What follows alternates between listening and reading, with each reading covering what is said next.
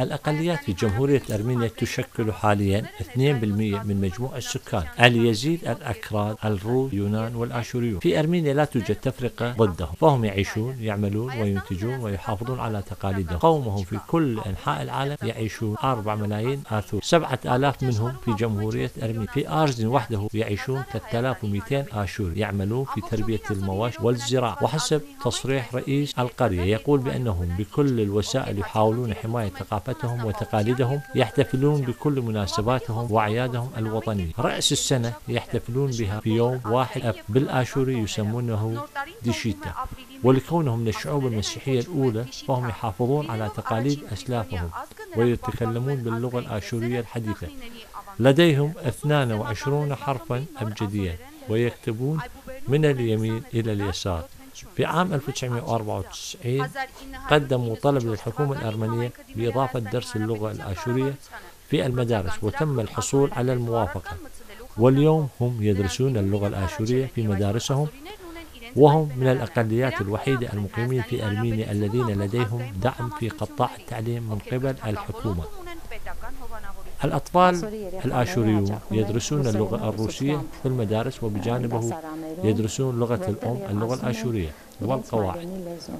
الآشوريون كانوا من الأوائل الذين بشروا بالمسيحية وإلى الآشورية ترجمت روايات المفكرين الأرمن عند ابتكار الأحرف الأبجدية الأرمنية قدموا المساعدة للقديس ميسروب مخترع الأبجدية الأرمن في أرزني توجد سبع كنائس رسولية أحدها تأسست عام 1850 من قبل الآشوريين اسمه مات مريم أي مريم العذراء. وليومنا هذا تعمل. وفي الكنيسة توجد قاعة للفواتح وحسب تقاليدهم يضعون المتوفي فيها ليزوره الناس ويقدمون تعازيهم الجدة الآشورية صوفيا قضت كل حياتها في قرية أرز عمرها 80 عام. ողջ կյանքն անցկացրել է Արզենի գյուղում։ Նա 80 տարեկան է։ بشينتيتون الله الله تيتون اقلوهم خير ويا اطرهم مشقاماتهم مرحبا بكم. تيخاوي أهلا وسهلا جئتم بالسلامة أبوابنا مفتوحة أمامكم بارك الله بكم هكذا تمنت لنا الجدة صوفيا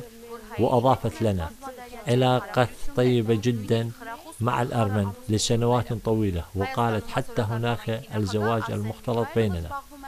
رئيس القومية الآشورية في أرمينيا أرسين ميخائيل منشغل بقضايا الآشوريين ويحاول حلها.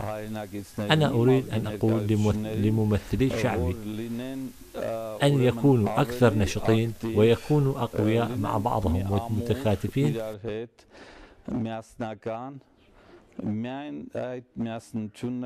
فقط هذا الاتحاد سينقذنا في هذا العالم. لذا نحن نحاول أن نعمل بهذا الاتجاه مع مواطنينا وممثليهم. وأعتقد نحن لدينا الإمكانية لتطوير تلك այդ ը, ուրեմն հնարավորությունը զարգացնել դա, քանի որ եթե մի ազգ لأن الشعب الذي 2600 عام لم يكن لديه دولة أو وطن ليعيش به لكنه استطاع أن يحافظ على لغته وقواعده وتاريخه إذا ذلك الشعب ما زال لديه هدف ونحن يجب أن نصل إلى هدفنا Ուրեմն այդ ազգը դեռ ունի նպատակ եւ պետք է մենք հասնենք մեր նպատակին في وادي رافدين حددوا من 1 أبريل إلى 12 أبريل 12 يوم مستمر حيث سلم الملك مهامه لشخص آخر وعاش مع الشعب بمستوى واحد لمدة 12 يوما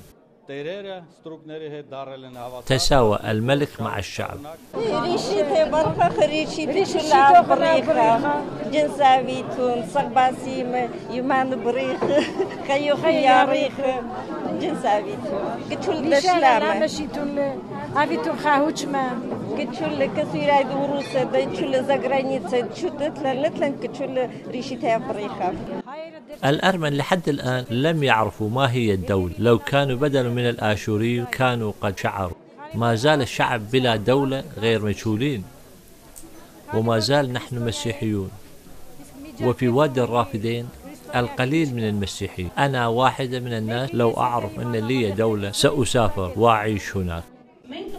نقدم لكم عروض الفولكلور الآشوري مهداة لرأس السنة. شيء مميز جدا أنه لأول مرة رئيس جمهورية أرمينيا يقدم لنا كتاب شكر والتهاني.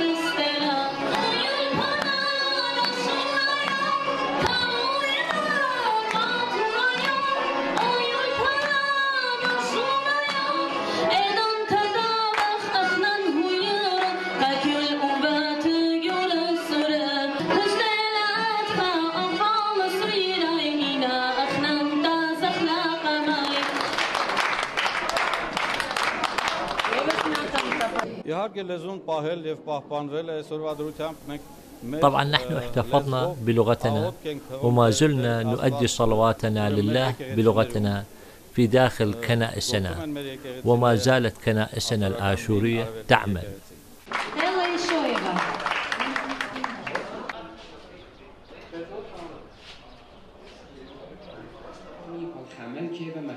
بقريتها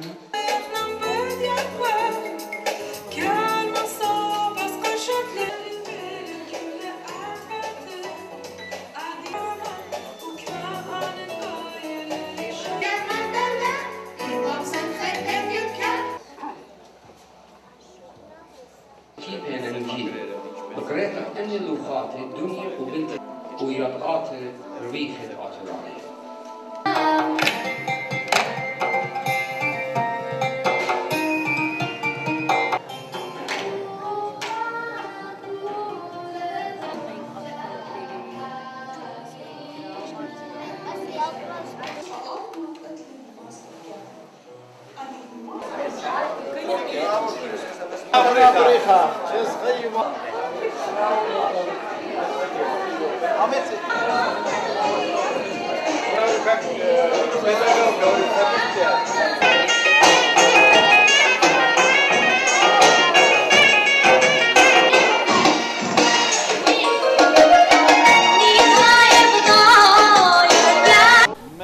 نحن نحتفل برأس السنة آه، 6762 عام. وأود أن آه، أهنئ الشعب الآثوري بهذه المناسبة التاريخية التي تناقت لنا عبر قرون طويلة ونحن حاولنا وحافظنا عليها ونحاول أن نطورها هل حافظتم على كل تقاليدكم؟ ليست كل تقاليدنا لكن التقاليد التي حافظنا عليها سنحاول أن نصل إلى المستوى أن نحافظ على كل تقاليدنا أنا باين برخنا خابنيسا ريشاشيتا اتوريتا وديتا طلبن قاتو خمانتيتا خياري ويومان بري